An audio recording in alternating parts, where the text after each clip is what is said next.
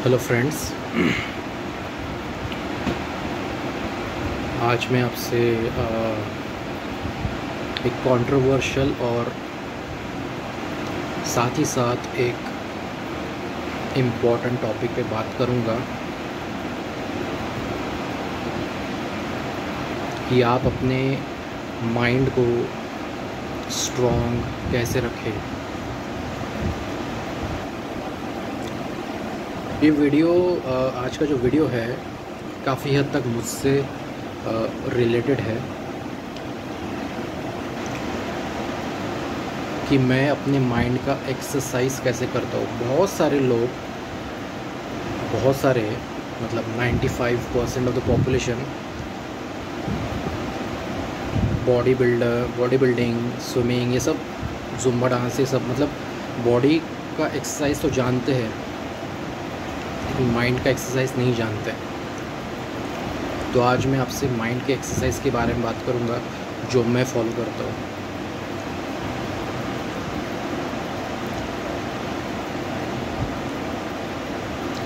अभी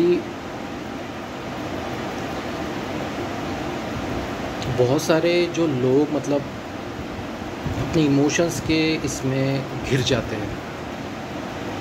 मतलब thoughts and emotions में सिंक्रोनाइजेशन नहीं बैठता।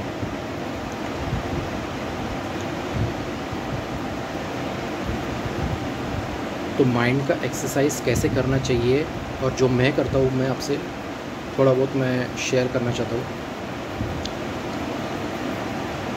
अभी मैं कहूँगा कि मैंने अभी तक जितने भी वीडियोस बनाए हैं, उसमें से मैंने हाफ़ सोबर रह के बनाए हैं और हाफ़ ड्रंक स्टेट में बनाए हैं। अभी आप, ये जो मैंने अभी कहा, ये सोच के आप बहुत चक्का हो जाओगे।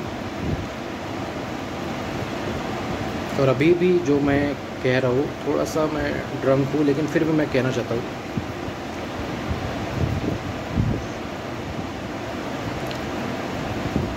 कि नॉर्मल स्टेट में आपकी इमोशंस और थॉट्स तो एक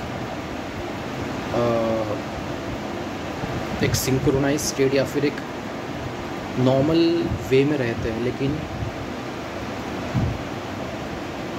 जब आप ड्रिंक करते हो या ऐसा कुछ करते हो तो वो जो थॉट्स एंड जो इमोशनल जो स्टेट है वो ऑल्टर होता है। उसे आपको बैलेंस करना है। और ये है मेरा वे एक्सरसाइज करने का। मैंने कई सारे वीडियोस सोबर में बनाए हैं।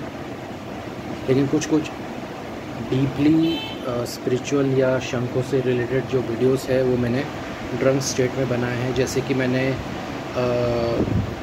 महाराज लीला हो गया या अभी रिसेंटली जो डिप्रेशन के ऊपर जो मैंने वीडियो बनाया, है। Top seven shanks budget wise और ऐसे भी बहुत सारे वीडियोस सोबर और ड्रंक स्टेट दोनों में बनाए हैं मैंने। कहने का तात्पर्य ये है कि अगर मैं सोबर हूँ, फिर भी मैं जो कह रहा हूँ या जो मेरे अंतर्मन में है, वही वो रिफ्लेक्ट हो रहा है मेरे बातों में। और यदि मैं ड्रंक स्टेट में हूँ, फिर भी जो मेरे थॉट्स है, जो मेरे अंतर्मन में है, वही रिफ्लेक्ट हो। So balance between sober and drunkenness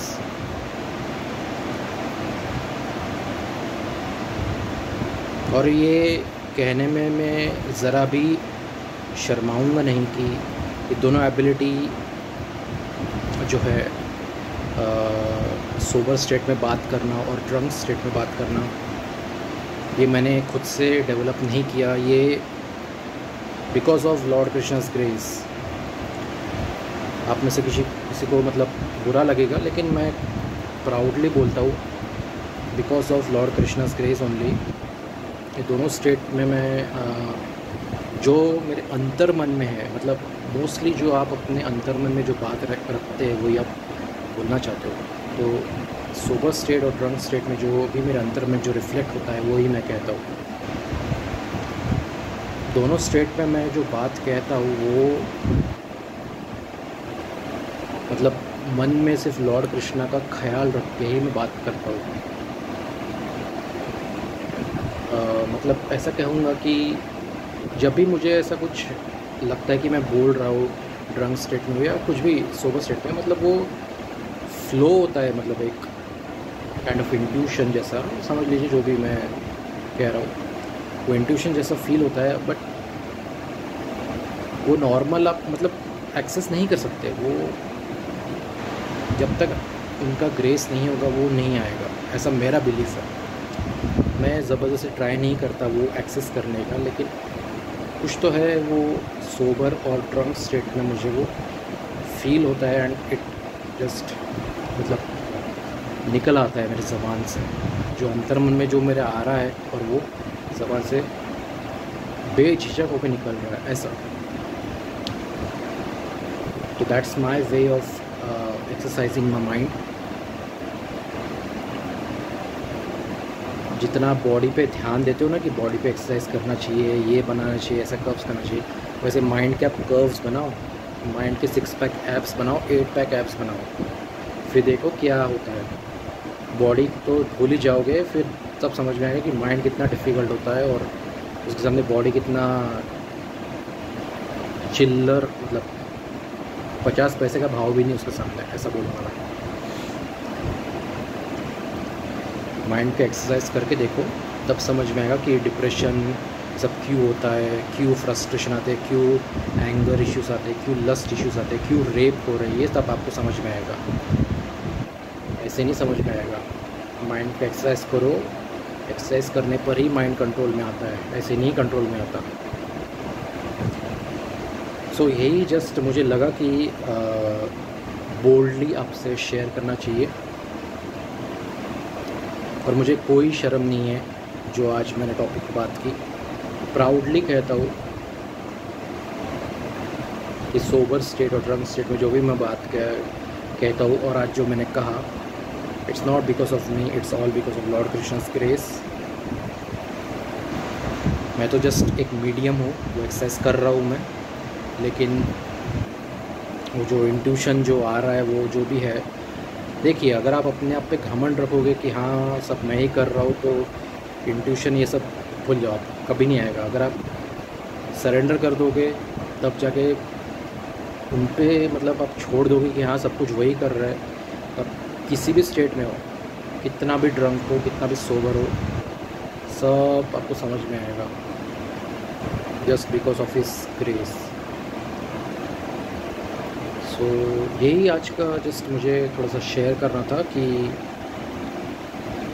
instead of paying attention to bodies exercise की रनिंग करना है जॉगिंग करना है स्विमिंग करना है कर्व्स बनाना है six pack abs eight pack abs जो जो भी करना है वो माइंड के माइंड के लिए करो। माइंड के कर्व्स बनाओ सिक्स पैक एप्स बनाओ एट पैक एप्स बनाओ और फिर देखो आपकी लाइफ में कितना ट्रमेंडस और ड्रास्टिक चेंज आता है। आप खुद स्तब्ध रह जाओगे देख के कि within a short span of time आपकी लाइफ इतना चेंज आ जाएगा कि आपने कभी इमेजिन भी नहीं किया होगा लाइफ में। सो so, यही कुछ था मुझे बोलना था जो मैंने फील किया और मुझे लगा कि आपसे शेयर करना चाहिए। आप में से कोई भी स्पिरिचुअल लाइन में जो भी हो या स्पिरिचुअलिटी होल हार्टेडली फॉलो करते हो। uh, मैं कतई नहीं चाहूँगा कि आप मेरी एडवाइस फॉलो करो लेकिन अगर आपको लगता है कि आपको स्पिरिचुअल लाइन में या स्पिरिचुअलिटी में डीपली जाना हो तो you can try this exercise but मैं ये कभी नहीं कहूँगा कि मैंडेटरी है। It's all up to your own choice आपको लगता है तो ही करो नहीं तो छोड़ दीजिए। आप अपने वेज फाइंड आउट कीजिए। मैं कभी नहीं कहता कि मेरा जो, मैंने जो वे डिस्क्राइब किया है वही मेरा राइट वे है। मैं कभी नहीं कहूँगा। आप अपने वे फाइंड आउट कीजिए। मेंटल एक्सरसाइज किसी भी तरह कीजिए। मेंटली स्ट्रॉन्ग रहिए। ये मैं कहना चाहता हूँ। और मुझे लगा कि मुझे शेयर करना चाहिए। आप में से कुछ लोगों को अगर ठीक लगता तो यू कैन फॉलो और else you can follow other ways so मैं ऐसे स्पिरिचुअल टॉपिक्स पे बात करते रहूँगा और शंकु से रिलेटेड भी टॉपिक्स कवर करते रहूँगा। सो मिलते हैं अगले वीडियो में एक नए टॉपिक के साथ। Thank you so much and जय श्री कृष्ण।